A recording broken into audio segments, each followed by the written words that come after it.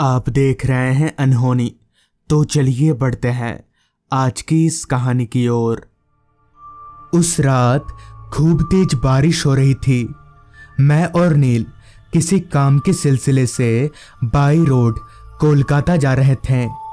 वैसे अगर सच कहूँ तो ऐसे खतरनाक मौसम में निकलने का मन ना तो मेरा था और ना ही नील का। लेकिन काम था ही इतना ज़रूरी कि हमें निकलना पड़ा। और तो और, रास्ते का हाल भी कुछ खास अच्छा नहीं था। कहीं बड़े बड़े खड्डे तो कहीं प्लेन रोड चूँकि वक्त आधी रात का था, इसलिए मुझे अब नींद आने लगी थी। मैंने सोचा कि जब तक नील गाड़ी चला रहा है, तब तक मैं एक झपकी मार लेता हूँ। यही सोचकर मैंने अपनी आँखों को बंद कर लिया। अभी मुझे आँख बंद किए हुए कुछ एक दो मिनट बीते ही थे कि तभी सामने से किसी बड़ी गाड़ी की हॉर्न सुनाई पड़ी।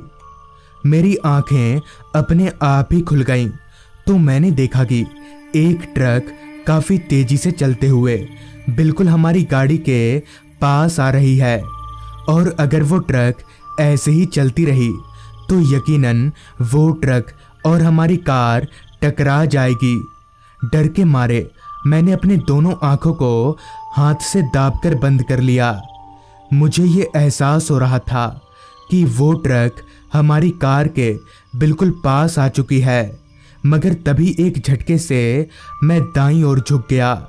मैंने आँख खोलकर देखा तो नील काफ़ी घबराया हुआ था और उस ट्रक वाले को बड़बड़ाते हुए गालियाँ दे रहा था।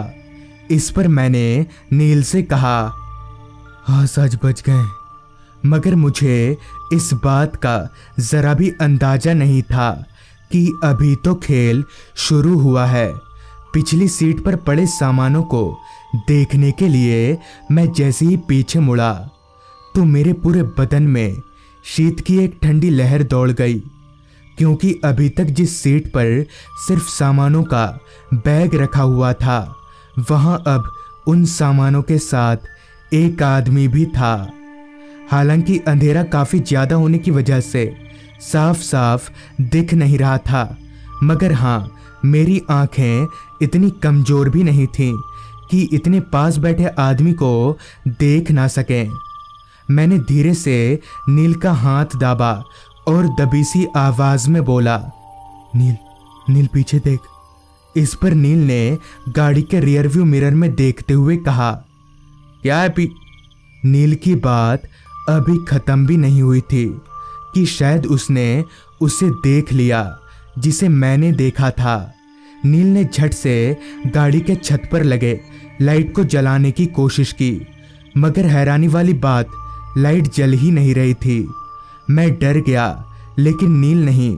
उसने पीछे बैठे उस आदमी को धमकाते हुए कहा, कौन तुम? उतरो गाड़ी से, उतरो अभी. मगर वो आदमी कुछ बोल ही नहीं रहा था। तभी मैंने कहा, नील, गाड़ी रोक। लेकिन जब नील ने गाड़ी रोकने के लिए ब्रेक पर पैर रखा, तब भी गाड़ी नहीं रुकी।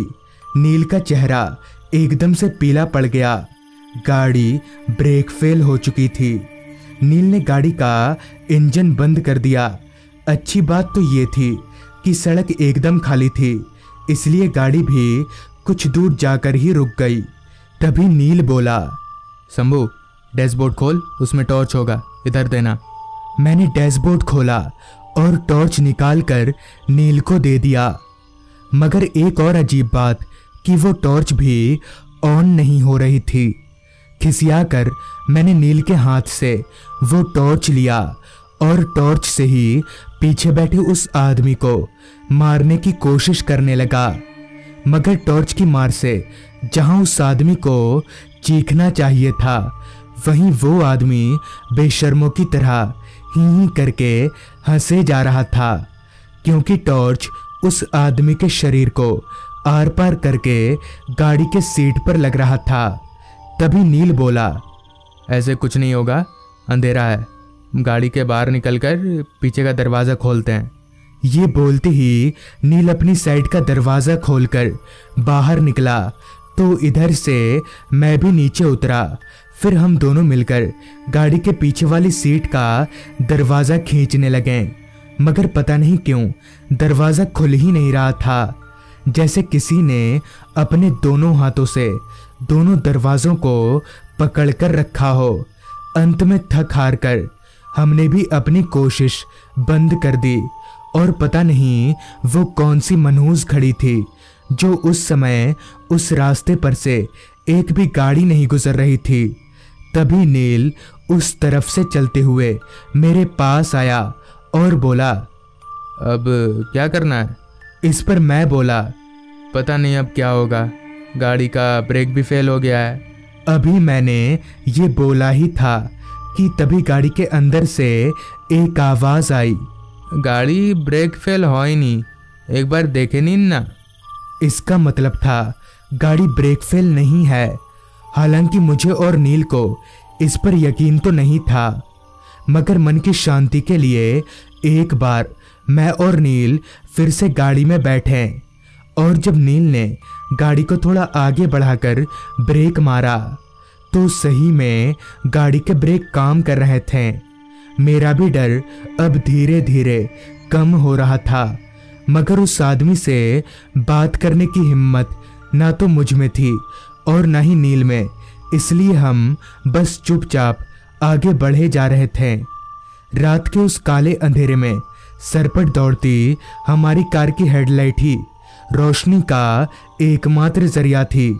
अभी हम कुछ आगे बढ़े ही थे कि तभी रास्ते के किनारे कोई आदमी खड़ा दिखा, जो कि हाथ दिखाकर लिफ्ट मांगने का इशारा कर रहा था। बारिश में भीग रहे उस आदमी के चेहरे से ये साफ़ झलक रहा था कि वो किसी मुसीबत में है, और अगर वो हमारे साथ रहेगा तो हमारी हिम्मत बढ़ेगी। शायद यही सोचकर नील ने गाड़ी को उस आदमी के पास रोका और खिड़की का कांच धीरे से नीचे गिराया। तब कार के बाहर खड़ा वो आदमी बोला, दादा, यही पास ही हमारा ग्राम है, नीमतोल्ला। आप हमको वहाँ तक छोड़ देगा? इस पर नील बोला, मैं तो आपको छोड़ दूँगा, पर पीछे जो भाई साहब बैठे हैं वो दरवाज़ा खोलेंगे? इस पर बाहर खड़ा वो आदमी कुछ बड़बड़ाते हुए पीछे वाली सीट के दरवाजे पर गया। उसके बाद जो हुआ, वो मेरे और नील के होश उड़ा गया। पीछे वाली सीट का दरवाज़ा अपने आप ही खुल गया और बाहर खड़ा वो शख्स कार में बैठ गया। तभी उस आदमी ने कार में पहले से बैठे उस अदृश्य आदमी से कहा, बोला, तू? तू कहाँ जा रहा है?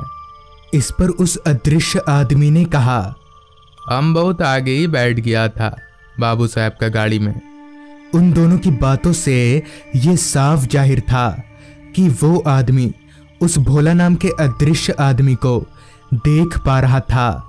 मैं और नील अभी भी एक दूसरे का चेहरा ही ताक रहे थे क्योंकि अभी तक हमें कुछ भी समझ नहीं आया था। इसी बीच मैंने जब तिरछी नज़र से पीछे देखा तो मेरे पैरों तले ज़मीन खिसक गई, क्योंकि थोड़ी देर पहले जो आदमी कार में बैठा था, वो भी भोला की तरह ही अंधेरे में धुंधला सा दिखने लगा। मुझे डर तो लगा, मगर मैंने अपना डर नील के सामने ज़ाहिर नहीं किया, क्योंकि नील गाड़ी चला रहा था, और मैं ये नहीं चाहता था कि घबराहट में कुछ उल्टा सीधा हो जाए, तभी मैंने बिना पीछे देखे ही लिफ्ट वाले आदमी से पूछा, आप इनको देख पा रहे हैं? मतलब आप दोनों एक दूसरे को जानते हैं? इस पर उस लिफ्ट वाले आदमी ने कहा, अरे पहचानेगा नहीं, ये मेरा बादशाह का दोस्त है। हम दोनों एक साथ में खेला, कूदा, मरा, जानेगा नहीं? और ये बोलकर वो दोनों ज़ोर ज़ोर से हंसने लगे। और मैं रोने रोने पर आ गया नील भी अब बहुत डर चुका था जो कि उसके कांपते हाथ और सूखे हुए चेहरे से साफ पता चल रहा था मेरी आंखों में थोड़ा थोड़ा पानी आने लगा था मगर तभी पीछे बैठे उन दोनों भूतों ने कहा এইবার গাড়ি থির করে দিন আমরা চলি इसका मतलब था गाड़ी रोको उसके कहने पर नील ने गाड़ी रोका। तभी पिछली वाली सीट का दोनों साइड से दरवाज़ा खुला, जिसके बाद का नज़ारा वाकई में रोंगटे खड़े कर देने वाला था। दो कंकाल हमारी गाड़ी से उतरकर रास्ते के किनारे जंगलों में चले गए। मेरा और नील, हम दोनों का ही बुरा हाल था। जैसे तैसे नील ने गाड़ी बढ़ाया और हम आगे बढ़ने लगे। कुछ दूर आगे जाते ही मुझे एक छोटा सा लॉज दिखा। तो हमने गाड़ी को फटाफट से उस लॉज की ओर मोड़ लिया और गाड़ी से उतरकर सीधे लॉज के अंदर भागे, जहाँ रिसेप्शन पर पूरी बात बताने से पता चला कि भोला और भैरव, वो दोनों सही में लंगोटिया यार थे और वो दोनों इसी हाईवे पर रात में गुजरने वाली गाड़ियों को रुकवाकर या कैसे भी उन्हें अपने जाल में फंसाकर लूट लिया करते थे। मगर इस बात से वाकिफ एक ट्रक वाला जब रात में इस रास्ते से गुजर रहा था, तभी भोला और भैरव ने मिलकर ट्रक रुकवाने की कोशिश की, लेकिन उस ट्रक वाले को इन छटे हुए बदमाशों के बारे में सब मालूम था। इसलिए उसने ट्रक ना रोककर उन दोनों के ऊपर चढ़ा दी, जिससे भोला और भैरव वहीं मारे गए। और तभी से उन दोनों की आत्माएँ इसी रास्ते पर भटकती फिरती हैं और कभी कदार यहाँ से गुजरने वाले मुसाफिरों को परेशान करती है। ये सब सुनकर अब इतनी हिम्मत नहीं बची थी कि हम रात में आगे जा सकें, इसलिए हमने उस लॉज में ही रात कटाया और सुबह होते ही निकल गए। तो दोस्तों, ये थी आज की कहानी। अगर आपके पास भी ऐसी ही कोई कहानियाँ हैं तो हमारे साथ ज़रूर शेयर करें। तो मैं आर्यन, जल्द ही मिलूँगा आपसे ऐसी ही एक कहानी के साथ।